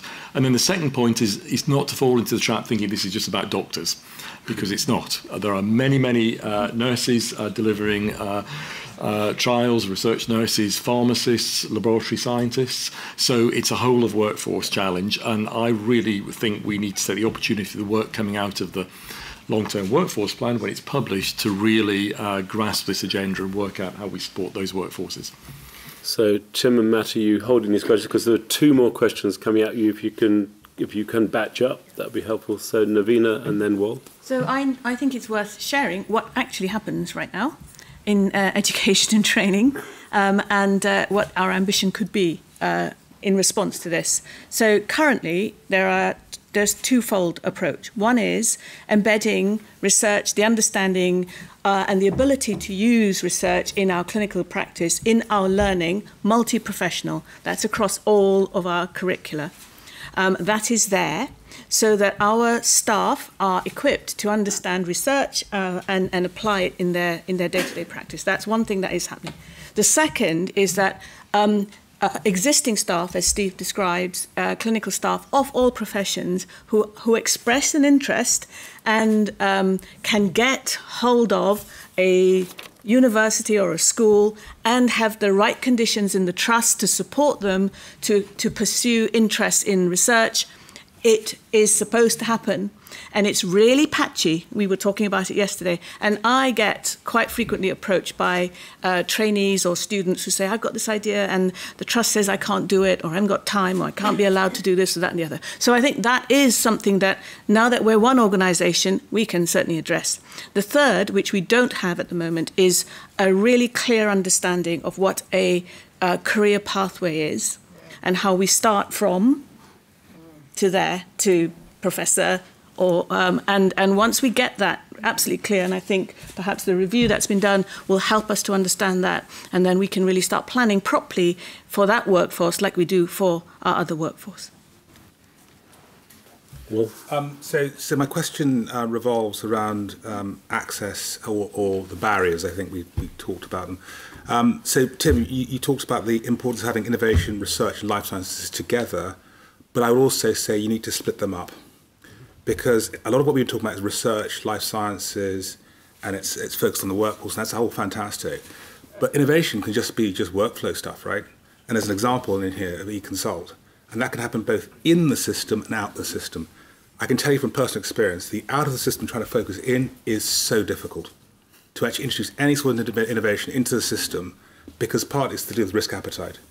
It's just not there. Um, and, and that's the first question. Second thing is, in some of the things we're doing, given that we all talk about the funding challenge, how much does do we as the NHS in England take stakes in companies so we can actually benefit from any of the scaling we get involved with? Is that something that's been done? I just my ignorance on this, on this subject. So, do you want to have a go, Tim, or then Matt, at those? Yeah. Um, so happy, actually, Matt, why don't I let you um, talk about HSNs yeah. first, because we are we are very stuck into a process around it. And I know Gary Ford, the chair of the oversight board, is working with all of the HSN leaders on actually what is the going forward plan for HSNs, and that is that is actively occurring. Um, so yes, uh, one one thing I just want to quickly come back on about barriers. So one thing that I think is really important to mention that is not a barrier um, particularly around research, is the public's appetite for being involved in research. That is absolutely not a barrier. We saw in COVID, you know, over a million people volunteered to participate in research, and we've seen through the new functionality we built into the NHS app, which builds in that links into NIHR's Be Part of Research, that we've seen over 50,000 people volunteer since we launched that in February. So tens of thousands of people, I think there was 8,000 people last week, are actively trying to participate in research. So it's it's worth noting that actually the public wants to participate in research. So I think I just wanted to, to mention that as a non-barrier. Um, on the academic health science network, so we've recently reviewed, so their, their relicensing period was for a period of five years. That comes to an end this month. We have renewed that for a year whilst we understand what is it that the functions that we really want them to undertake are, because over the period of that, that five years, and actually their existence before that, the uh, what people have wanted to work with them on and use them for has has changed and evolved. And what's what we've noticed is happening is actually more and more sort of programs of work are landing with academic health science networks. Sometimes because people see them as the best place to work and to deliver that work. Other times because there isn't a clear alternative for other places that that work can do. So a lot of the work that Tim and I and, and, and Amanda are working on is actually what are the key functions around the adoption and innovation that we want the academic health science networks to uh, to focus on. Um, so we'll have more in the uh, in the next few months on where we're where we're where we're going with that. Um, there was a really important link to the uh, applied research collaboratives. So these are um, uh, organisations with experts in uh, translation uh, type type research. Um, really interestingly, when I first joined NHS England, there was a meeting between Academic Health Science Network chair, uh, chairs and chief officers and the Applied Research Collaboratives chairs and chief officers, and there was sort of a, a loose agreement to potentially work together on one area. But this was after about seven or eight hours of discussions, um, and that was as far as it got. Fast forward three years, they have much more joined up programs of work. Um, my team has jointly funded work between them um, to look at areas that are coming out of the research. So what we're trying to do through that work is work with the academic health science networks who are closer to the systems and looking at the problem systems are facing and actually link that into the work plans of the applied research collaboratives so that you're actually looking to put the evaluation expertise onto problems that local systems are facing and you don't end up with what what it was sort of two or three years ago whereby you would see um, researchers uh, uh, researching interesting questions and wondering why the outputs of that research were not being translated into changes in practice. So there is work ongoing to to, to look at that that has been uh, that has really sort of transformed the way that they are they are working together, and that will form part of the uh, the work that will. there what we want academic health science networks to work on in the future. I think the important thing to note with the academic health science networks is that they're not providing direct clinical care they don't employ the clinicians that are making the changes and they're not sort of accountable for, for delivery. They are a delivery partner within the system. So a lot of this work will actually have to sort of rebalance uh, rebalance all of those different all of those different factors. Yeah. And then I know we're running on time, um, so apologies. I just want to say thank you, Navina, for your comments. Um, and um, I think they're exactly on point. And um, and yes, is the quick answer. um, uh, I think we should support um, the the um, the going forward programs that you described. Um, and then, um, Wol, to your question um, uh, around it, the difficulty getting stuff in, I completely agree with you. This goes back to the comment I made earlier about risk appetite, and uh, I, I do think we are better now with the signposting program that um, we just launched. Um, I think that is, uh, we are getting positive signals from the co commercial, um, uh, from the commercial industry about ability to manage the complexity uh, uh of getting in to understand what the steps are um, but again, it is the marketplace for innovation coming in has been highly fragmented. And I do think that 40, um, managing 42 relationships is a lot simpler than managing um, 260 odd trust relationships. I, I, also will just say, and, and Julian can come in on this point, but um, we are more and more when it is appropriate, moving to national uh, deals, um, following on the leverage that was as clearly seen in the pharmaceutical um, areas, and um, particularly around technology. Um, we signed a very important uh, contract with Microsoft on the 365 um, uh, a few years ago that really was a big change in the way how we approach technology, and that arrangement saved hundreds of millions of pounds um, by, by doing it at scale when, when you're talking about a commodity, a technology change in, in a commodity service. So, um, so I think all of these are part of the, there is no, I don't think there is a, a panacea, a silver bullet for, um, for the, the challenges in the adoption and spread. But I, I'm, I have actually great confidence that we have itemized the barriers and we are going after each of them one at a time. And I think that is already showing some progress. stakes? We take equity stakes. Oh, equity stakes. So actually, we do have. Um, this is a very hot topic right now, um, and um, and there there we do have an economist working on exactly the framing, that is a something that we um, happy to bring back to the board. It's it's um, it's it's in the later stages of development. Um, I think it's a, a, a, terrific topic to bring back. It it it has all kinds of uh, nuances with it. I, I, think it would be a great discussion. Amanda, would you like to uh, close up? You've talked a lot with me about um, innovation. Yeah. Do you, do you, want to? Yeah, just look, can I just uh, very quickly um, just thank Tim and yeah. Matt for their leadership in this space, but also he's not here, though he used to be a member of our board, Ara Darzi, yeah. who chairs the Accelerated Access Collaborative and has been a real architect of a lot of what we're now seeing the benefit of and talking about today. Continues to be a huge uh, part of this uh, this agenda. And I think what's been really helpful in this discussion is we've done we've done the balance well between acknowledging the stuff which is really positive and the huge progress that has been made in all of the priority areas we've discussed and many other areas, Richard, as you and I often reflect on the amount of change that's happened in the NHS over the past few years. But we've also acknowledged, I think, really clearly where some of the challenges are.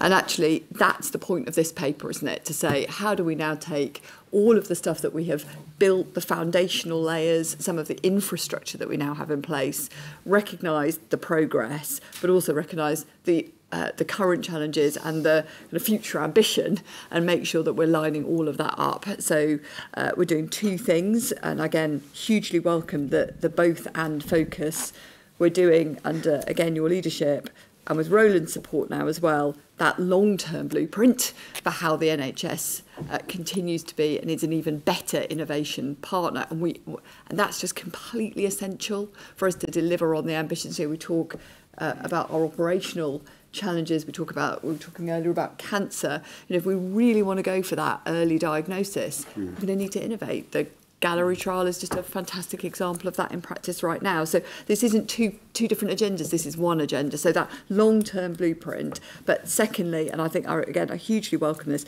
It's a what can we do now? The here and now. Some of that is embedded in things like the HSN review, but some of it is also just the really practical stuff that we can build on. The scale and spread challenge, the market entry challenge. You know all of the things we've just discussed. And uh, for me, that's the right balance between do now, but also do tomorrow.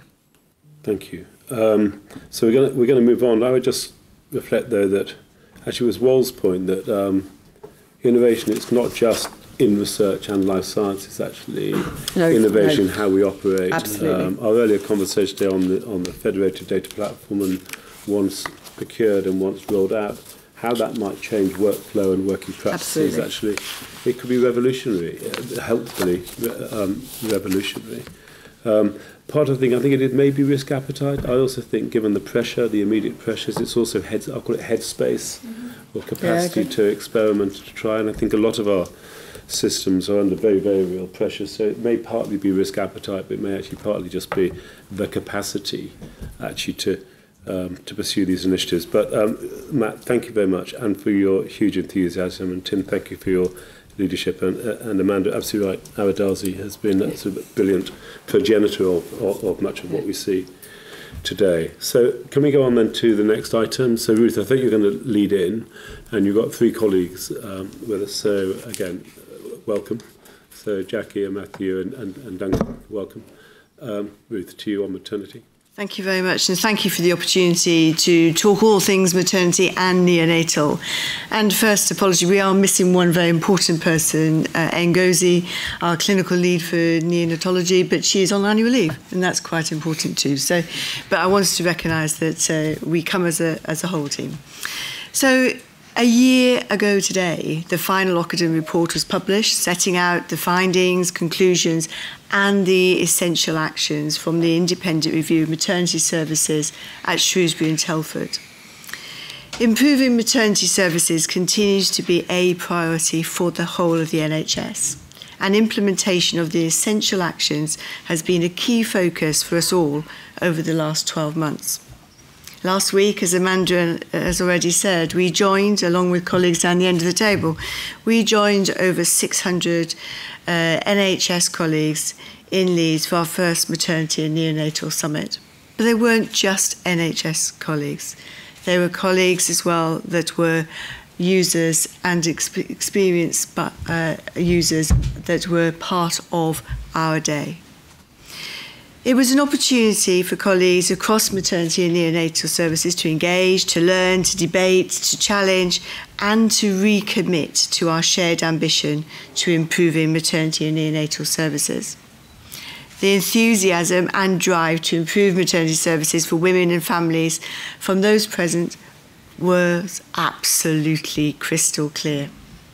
We started the day by hearing from service users Chloe Abbey, Chloe Abbey and Jenny Tata. They opened the summit with a powerful session and spoke of the importance of listening to women and families and addressing inequalities.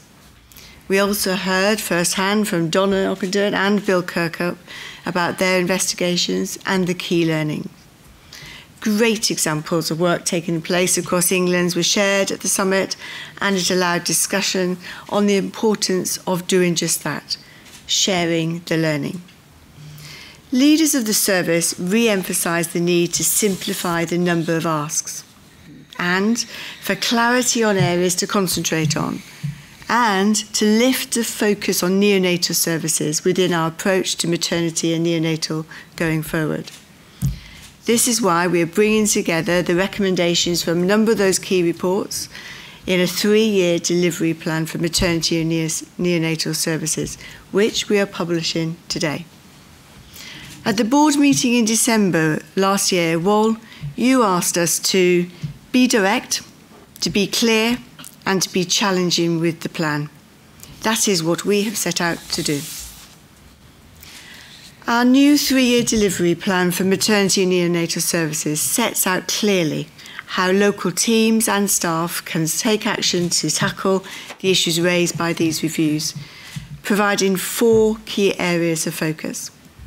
Listening to women, growing the workforce, improving culture, and equity of care to ensure women, babies and families receive the highest quality of care that meets their individual needs. It brings together recommendations set out in our previous, matern previous national strategy, Better Births, the Maternity Transformation Programme, Donna Ockenden's review into maternity services at Shrewsbury and Telford, and Bill Kirkup's report into East Kent. Services have asked for this plan and we've listened.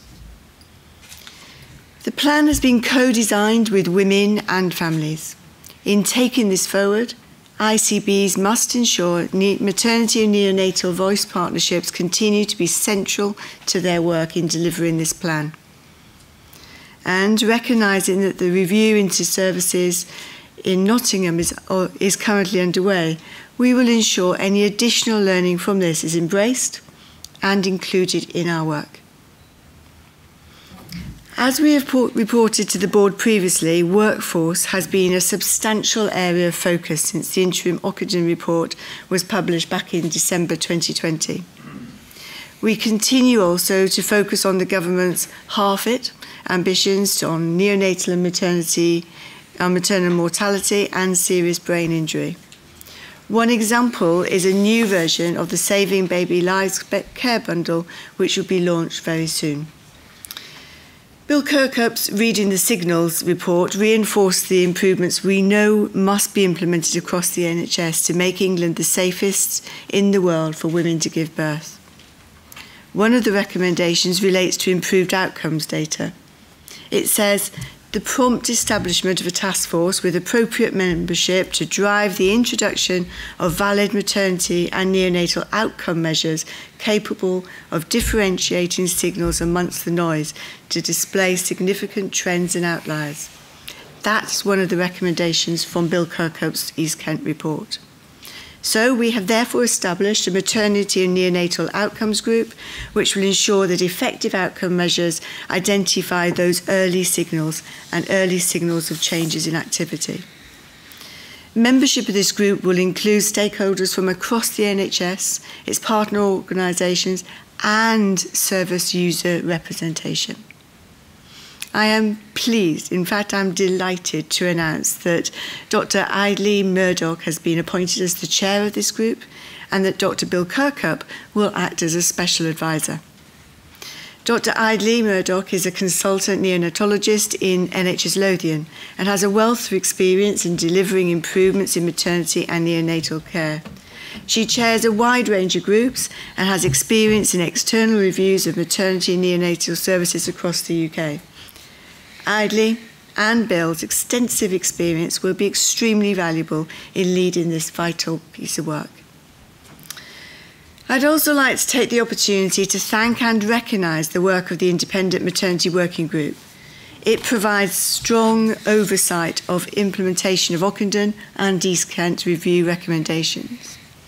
Establishment of this group was one of the key immediate and essential actions that Donna Ockenden uh, announced this time today last year. It enables a collaborative approach and I would like to thank the co-chairs, Gill Walton, Chief Executive of the Royal College of Midwives, and Dr Eddie Morris, President of the Royal College of Obstetrics and Gynecologists. He's obviously now passed that baton to Ranee Thakar, and I want to thank her and also all the members of the group. Also, as Sarah Jane Marsh has now taken up her post and a new post within NHS England, we will be seeking to appoint a new chair of the NHS England Maternity and Neonatal Delivery Board as soon as possible. I would also like to thank Baroness Julia Cumberlege and Sir Cyril Chantler for their dedication and leadership of the Maternity Stakeholder Council and who will be stepping down tomorrow following seven years in post. I'm delighted to inform you too that we've appointed Louise Weaver Lowe to the role of neonatal nurse advisor. Louise, who is currently the director of Northwest Neonatal Operational Delivery Network, will work alongside our neonatal clinical team, Jackie, Ngozi, and Matthew, to provide a neonatal nursing clinical advice and champion the neonatal workforce. I will now, Chair, hand over to Duncan, who will explain how we have built this plan and how collectively we will deliver it. Jackie and Matthew will then follow with some key points. Okay. You must also, I know, um, it's a, must also give us time for questions. Of course. there will be, I'm sure, questions. So, so Duncan.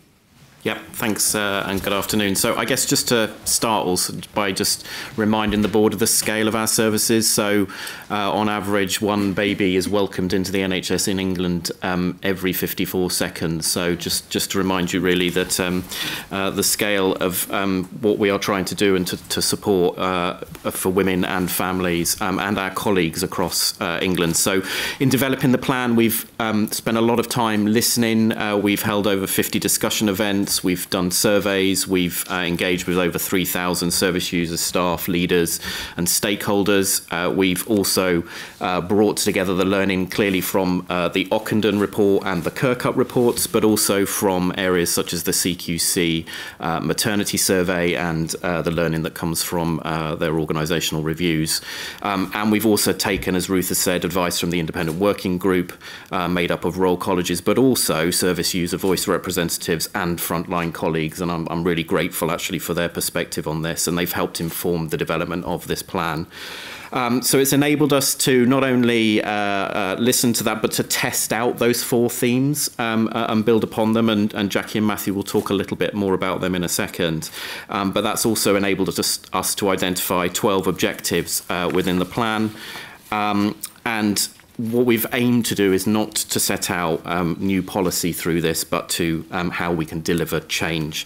Um, and therefore, we've set this out to make sure that it's really clear all the responsibilities at every level. So that's at NHS Trust level, uh, our integrated care boards and systems, uh, including the local maternity and neonatal systems and our operational delivery networks that work within the neonatal services, and of course, NHS England nationally and regionally. Um, and it's deliberately written um, and directed directed at frontline staff and leadership, uh, describing those building blocks um, that we need to have in place uh, for our services and to support our women, babies, and our families. Um, so, uh, we've also um, really pleased to see through this this the the, the program of work also includes uh, how we listen to and learn and work with women and families through our uh, maternity and neonatal voice partnership. So you will see through the plan that that is a very um, strong uh, uh key theme within that. Um, we've also put in here and actually building on the, the, the previous discussion actually you'll see there's some case studies in the report um, which is reflective really of the tone that we want to set through this plan about making sure that we um, we learn, we share from good practice and do more of that and that's part of our role here at NHS England to do that and so we've heard through that engagement we need to learn more from the good practice as well as when things um, unfortunately go wrong. Um, so from the following the board meeting today, we will write out to trusts, to ICB leaders, to our maternity and neonatal leaders to inform them about this plan um, and uh, ask them to start embedding the themes uh, into their work. And we've recognised that we've got maternity and neonatal services at very different stages um, already in implementing many, many of these elements. So we've deliberately constructed this so that maternity and neonatal systems are able to take this plan and agree locally the delivery over the next three years. Um, and I guess just my last point really is that we will now, as a result of this, look at our NHSE governance around this. We've got an opportunity, particularly with colleagues from Health Education England joining us to refocus the work of um, our maternity transformation board um, and uh, reflect on the benefits that we've had from the independent working group um, and how we can deliver some efficiencies, particularly working with colleagues from uh, Health Education England on the workforce elements. But I'll hand over to Jackie and Matthew. Thank you, Duncan. And um, uh, we are incredibly excited that we can publish this plan today. Um, there are many plans, documents, papers, guidance, and many other items that influence how we provide healthcare provision.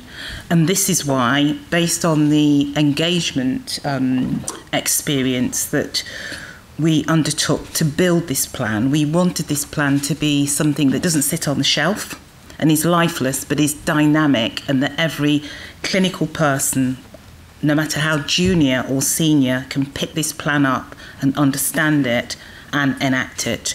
And that's why in each section of the plan there are the themes there are the key achievements, and then there are the um, the key ambitions. Sorry, and then there are the uh, key objectives and very specifically how we'll deliver on those. So everybody has a part to play in this architecture the ICB's role, NHS England's role, providers' role, and, and this is reflected under each section. So that, that's, I think that's really important to, to outline that, that we want this plan to be dynamic and not another document. And as Duncan and Ruth has alluded to, this is not something that is relatively new. This is a culmination of better births, um, the report of the National Maternity Review, a culmination of the chapter, the maternity chapter in the NHS long-term plan um, the Ockenden interim, the Ockenden final, the East Kent reading the signals report, and there were three race, race equality reports that were published last year. They also infiltrate um, this delivery plan. So I'm going to just say a few things, just a few key things about um, a few uh, um, key points in the plan, and then I'm going to hand over to, to Matthew. So, the theme that I'm going to start with is the listening to and working with women and families with compassion. Because we can make this as dynamic as we want. We are dealing with people who are serving people. So, listening and responding, but not just listening. Throughout this plan, one has to hear once you've listened, and then you have to understand, and then you have to act in a way that is mutually agreeable to the person that's receiving that narrative. And that is really, really important so that families can leave their consultations and feel and be invested in, valued, and a part of that journey going forward. So that is a, really key point within the plan. Empowering our staff to be able to provide personalised care.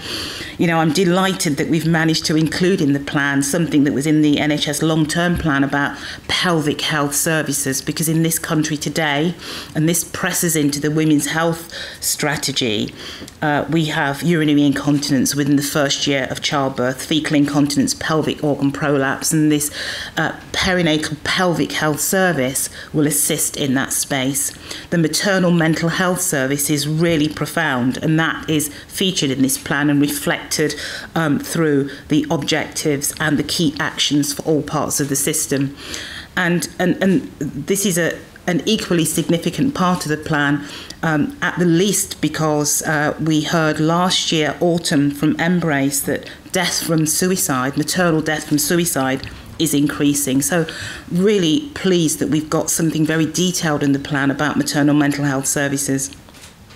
Also, consistent uh, bereavement services across England so that we reduce the unwarranted variation so that every bereaved family has the um, has the uh, opportunity to have consistent high quality bereavement support and of course then the inequality plan now we published um, the inequality the equity guidance um, 18 months ago and that equity guidance provides a framework for how we ensure um, uh, safe and personal care equitably, regardless of skin colour, socio-economic disadvantage, or the way one speaks.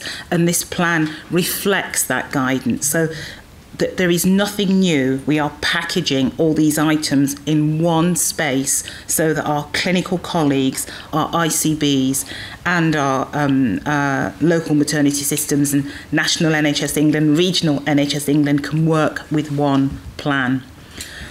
Um, I'd also, just before I hand over to Matthew, like to um, uh, draw your attention to the growing, retaining, and supporting our workforce because, as I say, we can have a, a great evidence based plan, but unless we have the workforce that feel and are valued, respected, and invested in, we won't be able to deliver this plan at pace.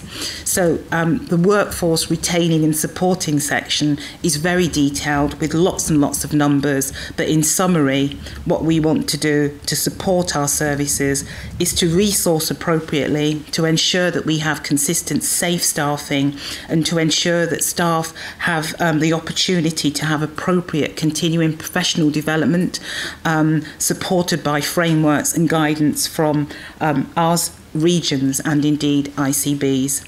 And that includes our neonatal staff too. Maternity and neonatal services are inextricably linked, as are midwives and obstetricians, and you'll see that reflected throughout the plan. Jackie, I'm going to have to get you to pass the baton to Matthew, otherwise we're going to we won't we'll have no time for questions. And that was my full stop. Thank you. timing. so Matthew, Great quite, timing. Probably you're fourth in the relay. Succinct. So Succinct. Quite succinct. Um, so, culture, learning, and safety is an important theme. Um, lots of what Jackie's described will create the right environment for good cultures to flourish. Treat your staff well, they behave well, they will look after the women we care for better. Um, but we're also putting a lot of professional training, leadership, surveys to understand insights so people can really measure the culture, drive improvement. There's lots in there about how we um, equip our staff to do the job better. Um, and there's lots about how we improve the safety structure, aligning with the NHS England's wider safety strategy. So it integrates with our PSIRF strategy. But we've, Jackie and I have also developed our perinatal quality surveillance structure, um, which means that uh, we bring together a whole load of different organisations at a regional level and they come together at a national level. We chair that uh, joint group where we've got our regulators like CQC, NMC, uh, GMC, we have our Royal Colleges, we have MBRRACE, who are experts on perinatal mortality, NHS Resolution, who obviously investigate the bad outcomes, HSIB, uh, and various other key groups working in collaboration, no longer a silo. We work together around the table, sharing intelligence to identify who needs a helping hand up. The work from Bill Kirkup and reading the signals will provide an extra lens on that with the data work. And we've got some really exciting work, um, both with AI teams to try and pull out more learning from, from reports and also um, the, uh, the, the operational work that we've got. So, understanding which services are regularly understaffed, which services um, have too much operational pressure, we can bring together the culture, the operational work, the outcome data to really get upstream of these problems so we know who needs a helping hand. The earlier we do it, hopefully the more trusts can solve their own problems, but we've got regions and eventually we have our National Maternity Safety Programme to support that. Um, there are other couple of quick enablers. Digital, Tim, you've talked about how important digital is. We agree. We need your help. It's integral to what we're doing in maternity. Um, and there's lots we're doing about standards and best practice. Um, I can list them to you, but essentially we are, we, we are we are innovating at speed all the time, and that's one of the reasons we've driven down perinatal mortality so dramatically over the last few years.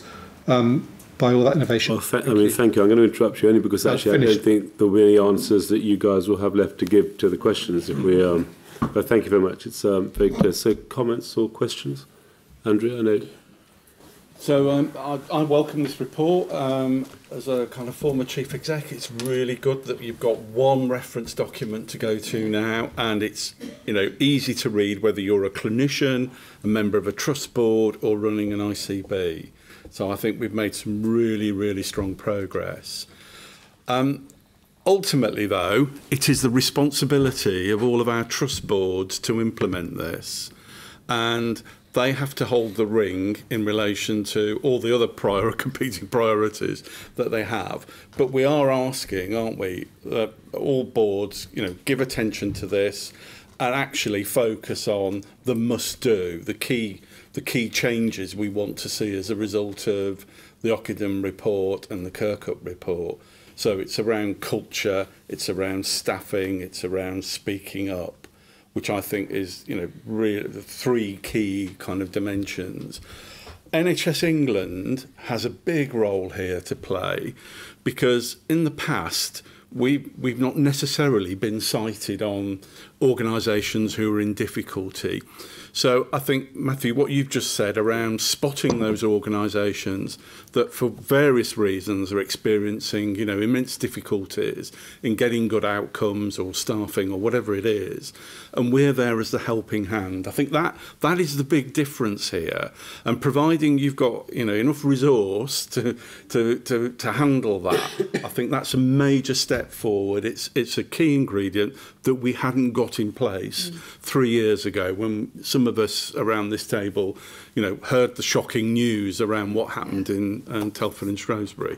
So I think we've moved forward a hell of a lot. But I just want to emphasise, ultimately, it is the responsibility of our trust boards to actually make this happen. That's a very well made um, point, Andrew. Can I?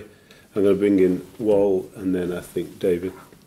Um, th- th- thanks, Ruth. Um, I remember the challenge. um, so, so congratulations, to your colleagues, for having done all the work to pull a really very clear plan um, together. And it, I mean, it, it's so complete. It's very difficult to actually find areas to pick. And again, you guys have really, really put forward um, very compelling rationale for why this should work. So my question is around the responsibilities of the feedback loop and the transparency. So I think this will only work if that culture thing is absolutely there. And that culture means that we don't report just when it's gone bad, we report also when it's gone, it's nearly gone bad. Right. Right? That the near misses are as important as the issues that arise. Now, my challenge would be in all the data and responsibility and stuff coming back up to the top, how do we find that? And how do we report on that? Because we'll learn so much from, from, from, from that about the culture. Maybe it gives us a sort of early warning signals to people who are not quite getting there, Uh, etc., etc. So that, that's my only challenge, but great piece of work, and I'm, I'm really pleased you guys took on so, the challenge. Ho so hold that question, and I think Andrew's question was more looking for an affirmation back that that point is is clearly um, those points are clearly well understood. But David, do you want to come in? And then... Yeah, thanks, uh, Richard. I think it builds on that. So congratulations um, to, to um, you four and the teams that have developed this. Um, uh, a bit like Andrew, I've sat through the reports back from Donna's report all, all through my uh, membership of the board, and um, uh, I think what you've developed is a really good plan. What I liked is, Jackie, you referred to it, the sections that say listening to families, uh, women and families. Um, what's our ambition here? Um, how will we determine success it plays at this point? But what are the outcome measures? How do we know we've got progress? What's the evidence? And importantly, what's the regulatory framework, and not just what the regulators do, but how, uh, what is our feedback loops come to that. I almost think this sets a benchmark for um, a delivery plan, uh, to be honest, and I'd, I'd want to, uh, to commend you for that, particularly the bit about culture, because when Bill delivered his findings on the culture, I was thinking, so how do you operationalise this? I think he's absolutely spot on, but how do you operationalise it? And um, I think you've picked a way to begin to operationalise it. So um, uh, I really do uh, commend that. I guess, Richard, my, my question is, um, and I think it builds on Andrew and I hope Wall's point, which is how do we as a board not usurp the role of boards, trust boards or ICBs, but how do we know this plan is being delivered and being effectively delivered over that period of time? Okay. And I, sitting through the debates, Ruth was emotionally moved the last time we had a debate in this room. Yeah. Uh, and I think um, all of us will probably uh, say that this has shaken us to different degrees and different impacts. And I think we owe it to um, the women that have experienced poor care, the reviews that have been done, uh, as, as well as the women that are going to give birth, to actually continue to be vigilant in the way that we monitor this. Because whilst there is a way down, uh, set out here, uh, I think Bill Kirkup's report was absolutely spot on. Do we have the data to, to identify the early warning signs? And I think that's the one that we need to be incredibly vigilant on, not just the feedback, but uh, can we really work at early warning signs and begin to use that to inform what we do differently? So we're not having reports on what went wrong, no. we're having reports on intervening early to improve something. So. So my question is, how do we, mon as a board, how do we monitor this? We might not be able to answer it today, but I'd just like, it needs to be on our forward planner, basically. So uh, look, it is um, so, so, so important that we get this right. Um, so just in terms of today, I mean, um, I've got three more questions coming at you. So if you quit, if you want to deal quite quickly with those, but actually, particularly David's comment, we should reflect actually as a board about yeah. how we're making sure we're looking at the right data and then intervening at the right time. And it's also Wall's point about the near misses are, are, are actually as important in yeah. terms of informing us about what's going on. But you want to quickly respond to those three I'll, points, I'll and then there's three more coming your way. Really quick. So the the near misses. Uh, we have much better data now than we had before. We're pulling it together in National Maternity Dashboard. We now have some statistical process controls, etc. on that. So we can start to look where the peaks are in various outcomes um, before we lead to absolute tragedies. But actually, I think where I'm more excited is about how we're tracking implementation of best practice care, because that's a further step up upstream. If we can actually make sure people are delivering best practice care, in the first place, we'll have less of those near misses as well. So I think that focus on implementation and really good care is, is where I think we'll get the biggest gains. As far as um, the early warning signs, I think it, it's something building that I talked before. The um, there's a very good paper in the in the BMJ recently about metrics and measuring and identify uh, organisations maybe running into trouble. And they, one thing, one of the key points is there's not a single metric for this. It's about triangulating the metrics, about people pulling the different lenses together. Um, that's important. So I think that mixture of measuring the operational stress, the acuity and workload on trusts, triangulating that with the culture, the morale, the outcomes, um, with those external lenses that we're getting from NHS Resolution, MBRRACE, the colleges. Uh, HE. HE tells so much about what the trainees feel about the services they're working in. They will tell you what the culture is like in services now and today. And if we talk to those people, we'll get the right answers. So let me. I'm going to put. I'm going to bring in the last three questions to Mary. I, you did um, signal, and then Navina, and then Munir, um, and then I'll let you wrap up with them. I mean, I want to join everybody else's congratulations and say how much I welcome this particular um, strategy. I also want to say that, you know, it was really good that we had the opportunity to comment on it earlier as board members. And I think it has been strengthened since the previous draft. And I'm delighted about the um, focus on those people who have mental health problems who may need additional help. But my question is around the 14 maternal medicine networks. Yeah. We do have a movement in our country that people would like natural birth. And how are you going to ensure that professionals explain properly to women and their families where they need to go to one of these maternal medicine networks and how far are people going to have to go to those? Thank you. Navina? Very quickly, um, I think this is a this is a report that is really hopeful, um, and with that in mind, and my background in co-production, and it's been co-produced with yeah. women and their families. So can we take co-production into the actual delivery of it in a way that it feels like a promise? Actually, it feels like a promise to um, to to to women and families for the future. And so I wonder whether we could develop that a bit more in terms of how we take co-production of the delivery further. And I would be really keen to be involved, if possible. Munir. Thanks. Again, welcome the report and really great to see that the patient voice and the staff voice is given so much emphasis uh, in the report. Um, just coming to the data, the minimal uh, relevant data that you need to collect to be able to intervene early. There are groups in this country that have developed world-leading expertise in core outcome measures and that committee that you mentioned, Ruth, I'm happy to put you in touch with some of those people who may be able to help you with your committee in terms of core outcome measures. Do you want to, um, Ruth, do you want to coordinate the response to those yes. last three? Jackie, do you want to just say, talk about the rebirth um, work in terms of, and Matthew, do you want to kick off, Matthew, then? Yeah, so um, I'll, I'll start with maternal medicine networks very quickly. The important thing about maternal medicine networks, they're not just centres of excellence, they're covering the whole region. It's upskilling all the spokes, it's, uh, it's every unit that they have reach out to.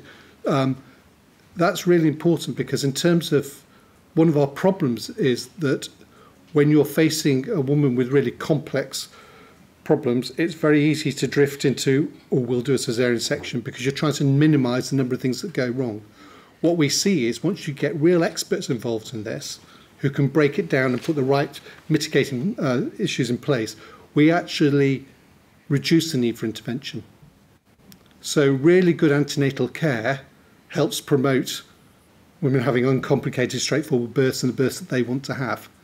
So it, it is, um, so the net, so I wanted to emphasize it's a network rather than just a centre and it improves antenatal care, which improves outcomes. Yeah, but I really want to know if I've got X as a severe complication. Yeah. Is it that advice is going to be given to my local team from a specialist team? I understand the issue of networks, or might I have to go, just for argument's sake, it's tailored Oxford, solutions. Or... So some people will need to go to the centre and see the world exactly. expert, exactly. or even a single national centre and see the right person. Other times, we will upskill the clinician at the front I, line. I, I understand. So it's I we can do whatever the woman needs. We can do. But somehow that has got to be a, got across to women at the same time as publishing this that it isn't it, much as there is choice, just sometimes to really give them good care, there will be a need to do exactly what you've said. Perhaps we catch up afterwards. I can give you lots of examples of how it's happening all the time. It's really exciting. It's women are uh, receiving this care today. Okay, thank, thank you.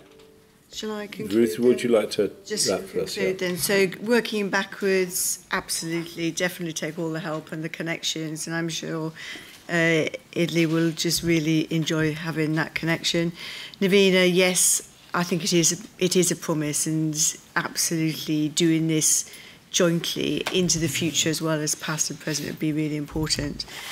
Um, and just generally, this is why it is a board as our responsibility, but it's, as Andrew said, it is primarily the trust boards themselves uh, who hold the responsibility for safe maternity care. But that's why we've set out in this plan different areas, different roles for different uh, parts of the NHS.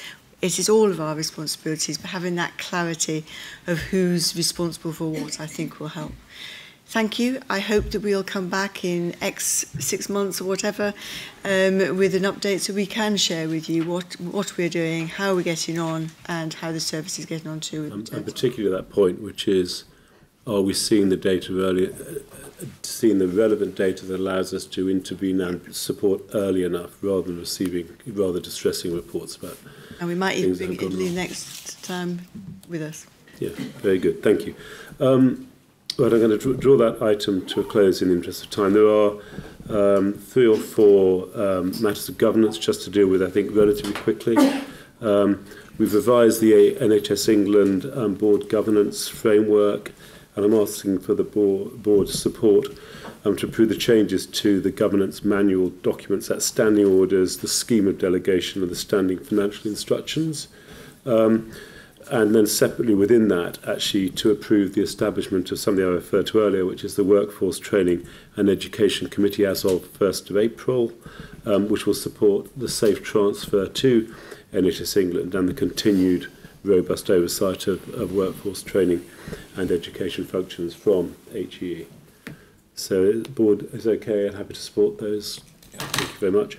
Um, there are a couple of other items which are either annual or biannual starred items. One is just report on the use of the NHS England seal. You, you've seen that provided to you, and that's for information. Um, and then separately, we have um, the annual uh, approval of the emergency, uh, essentially the emergency backup. So the emergency preparedness, resilience and response um, assurance report. Um, it's an annual report summarising that work and it provides assurance to us as a board of our duties here and our preparedness to respond to any emergencies. Are people happy to um, support that? Thank you very much. Um, and lastly, just for information, um, the board um, is asked just to note the directions which have been issued to NHS England since the merger on the 1st of February with NHS Digital, and that's um, in accordance with our commitments around transparency, particularly around data transparency. So the board happy to note those. Thank you very much. Um, Any other business before I close? Just looking around the table. In which case, can I thank the board um, and thank the executives? I think there were you know, good feedback and reports from David and from Julian, and as always from Amanda as our chief executive, and then two very good discussions, I think, one on innovation and secondly on maternity. And with that, let me call the meeting to a close. Thank you.